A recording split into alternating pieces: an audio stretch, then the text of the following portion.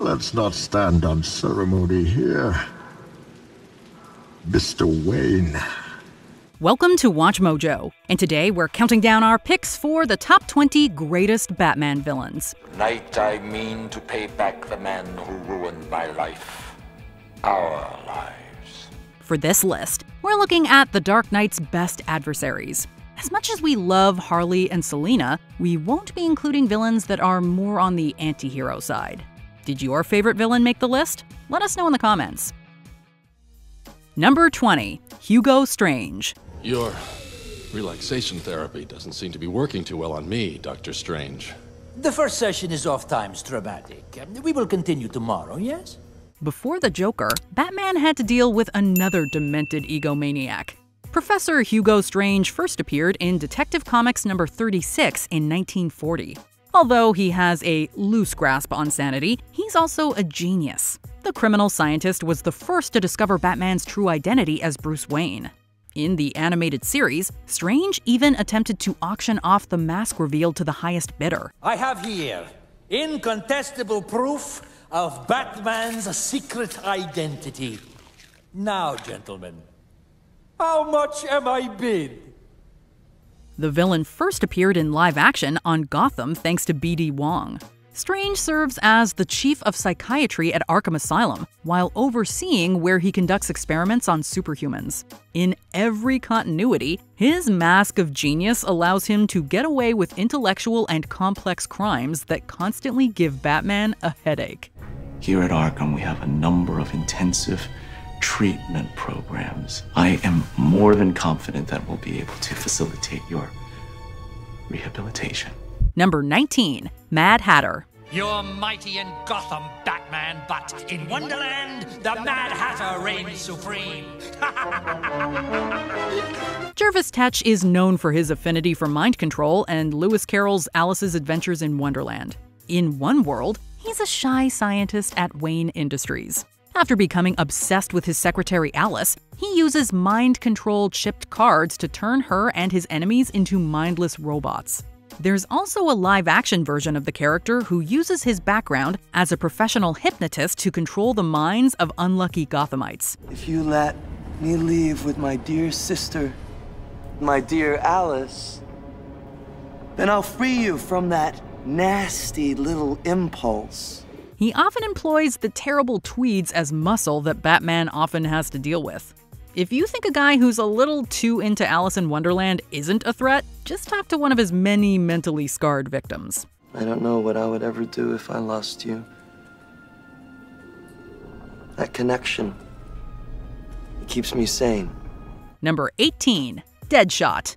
Waller. What, Lawton? Play fair and I'll shoot straight. Jerk me around and I'll kill you. The deadly marksman who never misses first appeared in 1950's Batman number 59. Deadshot, oddly dressed in a tuxedo and top hat, arrived in Gotham City as a new vigilante crime fighter. His true aim was to become a new kingpin of crime. It's over, Deadshot. I don't want to do this in front of your daughter. After the dynamic duo locked him up, he became more known as a hired assassin with a much better outfit. Deadshot's incredible skill with weapons and off the charts accuracy has the Dark Knight wary of stepping into his crosshairs. Fortunately, the villain is often drafted onto Task Force X to solve problems for Amanda Waller. But whenever he crosses paths with Batman on a mission, you can bet that the bullets will fly. Ah, talk! Why are you here? Amanda Waller wanted the Riddler dead. Waller. Number 17, Killer Croc. Terrific. Just what I need now. The freak job in the cape. You're no prize yourself. Killer Croc, aka Waylon Jones, suffered from a rare genetic condition that gave him rougher than normal skin. Over time, he becomes more animalistic in nature. Batman has unfortunately been on the wrong end of Killer Croc's teeth more than once. Thanks to his inhuman strength and endurance, overpowering him is no easy feat. Batman usually has to rely on his wits to come up with ways to stop him before the villain can find more prey. But Killer Croc has also been seen through a sympathetic lens as a desperate man rejected by society. I wanted you to sweat it out in a cell for a while like I did. to know what it feels like the way I do. Whether he's portrayed as a lonely man or an all out beast, the Caped Crusader generally tries to avoid going for a swim with this villain. They used to call Killer Croc the meanest dude in the Wrestling Federation. Now they'll call him the guy who iced the Batman. Number 16, Black Mask. Man of Gotham, I have funded you. I've protected you. I've scratched your backs and kept you out of jail. Just like Bruce, Roman Sionis came from a wealthy Gotham family. But thanks to awful and self absorbed parents and bad business decisions, the villain dove off the deep end. I know what everyone says. Here comes Roman Sionis. He was handed life on a silver spoon. Gin and tonics at five. Olive the duck. Blah, blah, blah. Fake. Sionis slayed his parents and used pieces of his dad's casket to create his iconic black mask. The villain and his false face society quickly grew into a huge problem for Gotham. And since Sionis has severe anger issues, standing near him feels like hanging around a bomb that can explode at any time. Black Mask's intimidating look and personality are a constant reminder of what Batman would have become had circumstances been darker. While Bruce uses his money to better Gotham, Sionis uses his wealth to bring Gotham down to his twisted level. What have I got to show for? My own men in the slammer? Not no more. No, tonight, we're making some changes. Number 15, Deathstroke. You're going to keep stealing, Robin. And you're going to keep getting that thrill. And sooner or later, you will see things my way. Slade Wilson was a high ranking member of the U.S. Army before he underwent experiments that turned him into a super soldier. He eventually began a secret career as a mercenary called Deathstroke. Since Wilson has incredible intelligence, enhanced physical abilities, and mastery of a wide range of weapons, he is an absolute nightmare for the Bat and his allies. I know your family is very anxious for you to complete your work. And I will, soon. Make it happen, Dr. Langstrom. It will be best for everyone if you do. Deathstroke has a long history of targeting Robins specifically. His cold and calculating nature allows him to come up with long term plans that whittle his enemies down physically and mentally. By the time Deathstroke comes to finish off most targets, they've often already lost. Fortunately, Batman and his allies have the courage and strength to keep this mercenary from collecting his latest bounty. Another day, Robin. Another day. Number 14, Hush. Are you here already? What are you talking about? What do you mean, what am I saying? Hush. Before Tommy Elliot became a brilliant surgeon, he was a childhood friend of Bruce Wayne. But the two could not have been more different underneath the surface. After Bruce got in his way several times, Tommy grew obsessed with bringing down the Dark Knight. In several realities, Elliot wrapped bandages around his head and operated as the villain Hush. I take it you're here to stop me? What do you think? I think you're too late. You're a killer, a psychopath. I will stop you. Since the antagonist often knows his old friend is Batman, he can mess with both of Wayne's identities. There are versions of the character who have even surgically modified their face to take Bruce's place in public. Hush's obsessive nature, willingness to do anything to hurt the hero, and knowledge of the Caped Crusader's identity have made him a villain who's very capable of silencing the Bat. I don't care if you do. Wayne will suffer, and you will not stop me.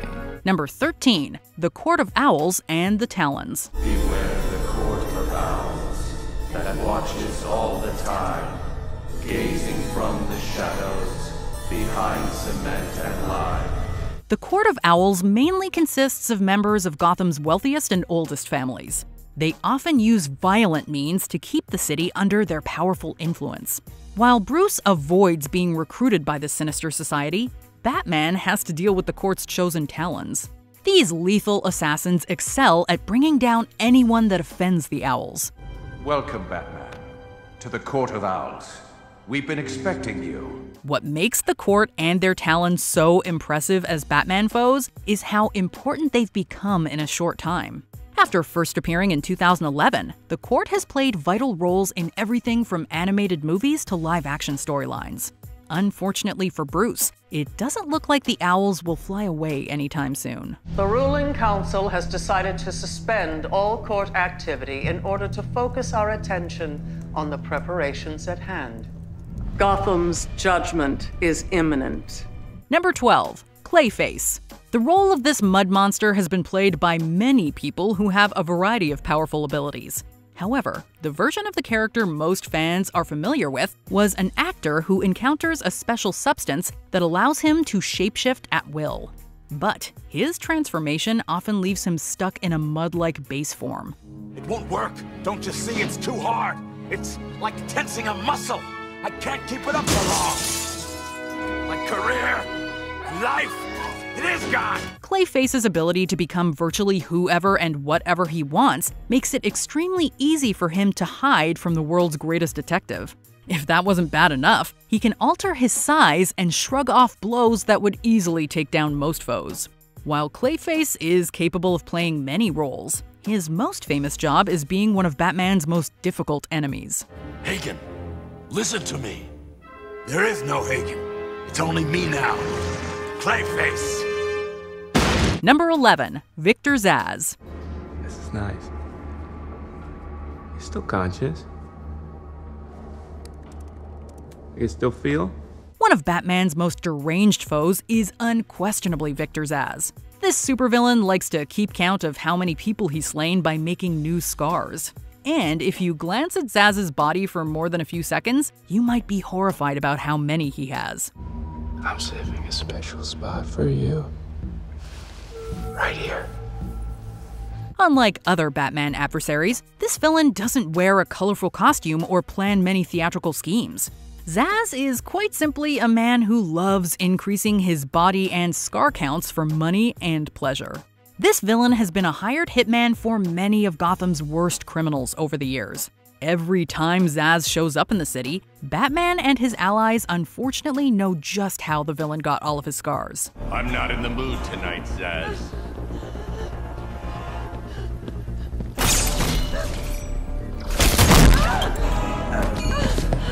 Number 10, Joe Chill. I can even the score for you with Thomas Wayne.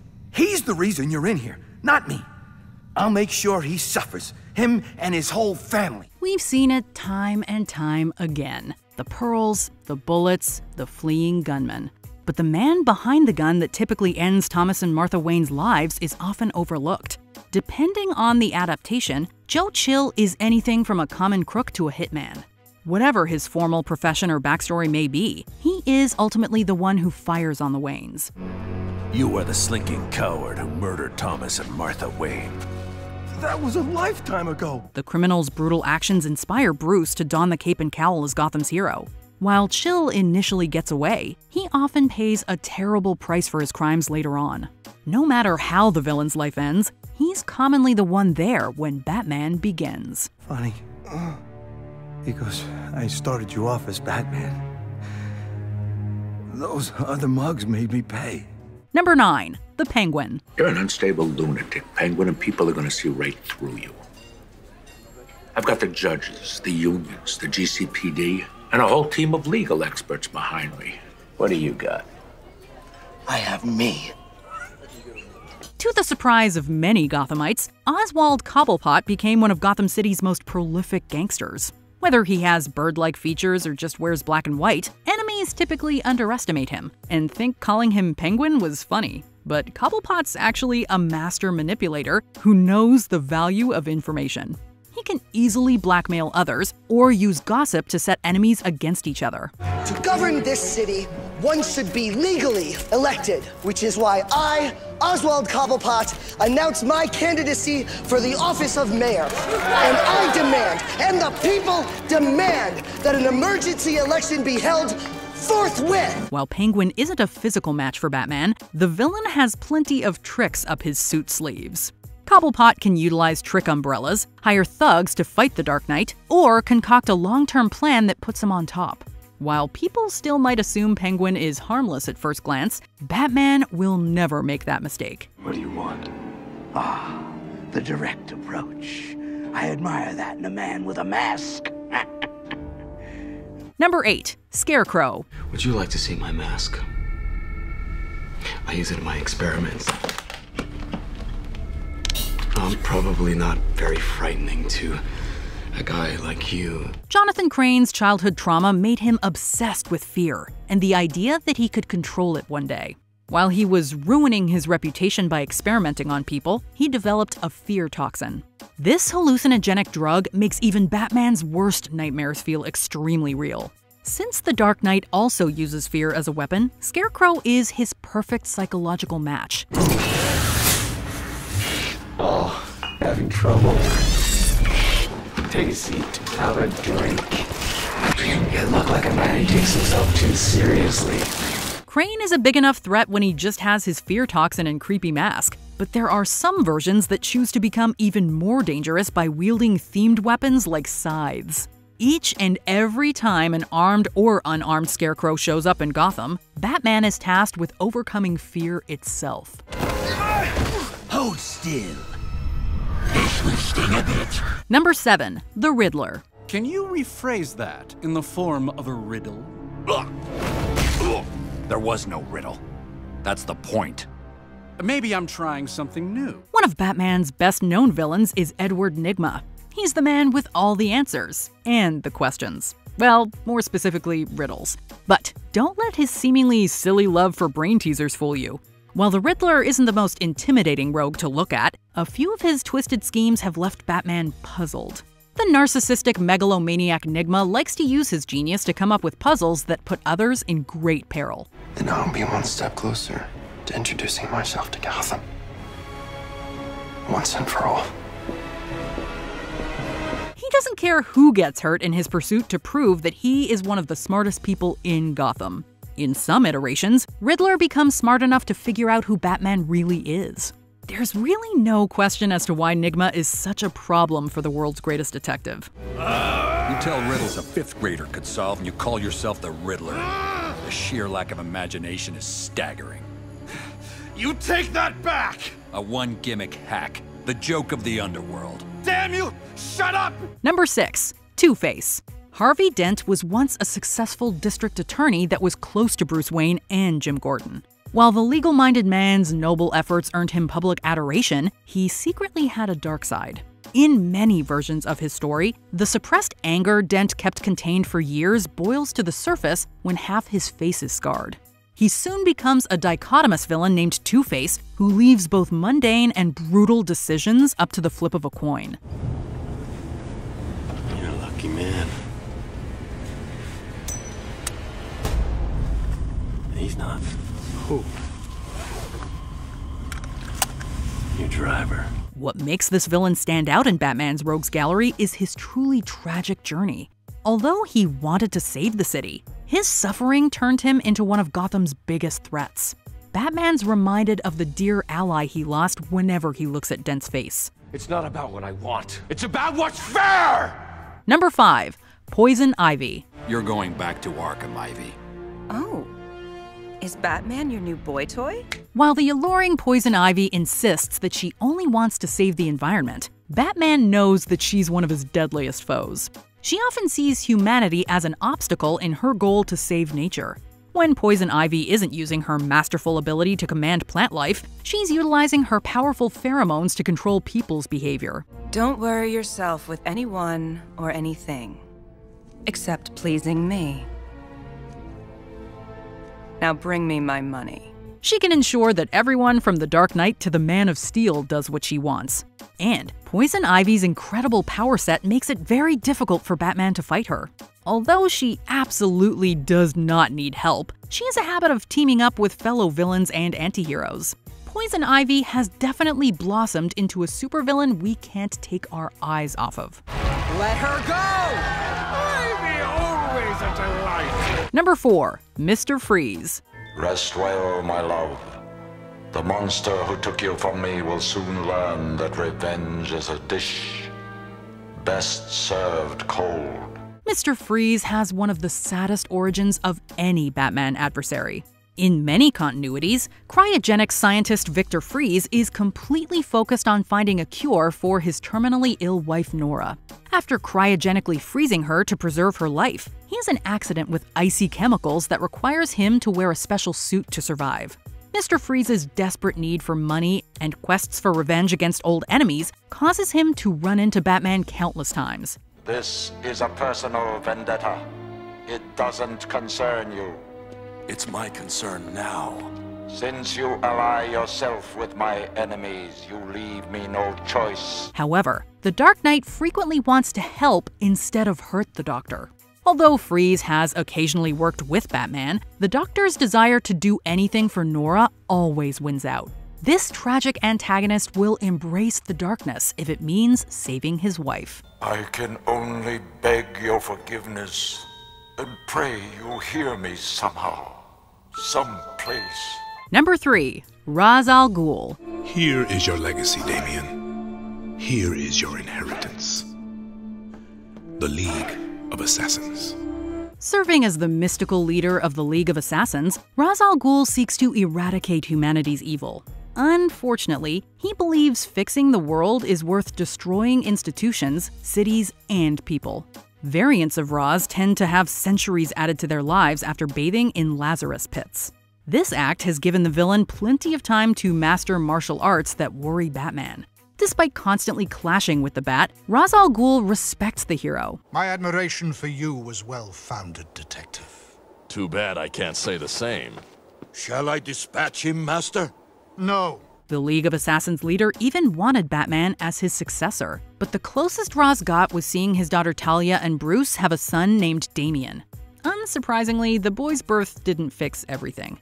As long as Ra's evil plots put innocent lives in danger, Batman will stop him. Perhaps, Detective, it is time that you and I finally finish this. It is the only chance you will have to stop that satellite. Number 2. Bane. Theatricality and deception. Powerful agents to the uninitiated. But we are initiated, aren't we, Bruce? Members of the League of Shadows. The man famous for breaking the bat is often the bane of Batman's existence. This villain's path to evil started when he was forced to grow up in a brutal prison to pay for his father's crimes. After spending years sharpening his body and mind, he took part in experiments for a drug known as venom. Stupido bat. My venom is stronger. This substance improved his physical strength so much that he became a gigantic problem for most heroes. Although Batman can get around Bane's massive muscles, that's only half the equation. Since the villain's brain is as big as his biceps, the Dark Knight always has to be careful to avoid falling into a psychological trap. We don't think this villain will be satisfied until he permanently breaks the bat. Tell me where the trigger is. Then you have my permission to die. Before we continue, be sure to subscribe to our channel and ring the bell to get notified about our latest videos. You have the option to be notified for occasional videos or all of them. If you're on your phone, make sure you go into your settings and switch on notifications. Number 1. The Joker. I don't want to kill you. What would I do without you? Go back to ripping off mob dealers? No, no. No. No, you. You complete me. Was there ever any doubt that the Clown Prince of Crime would stand at the top?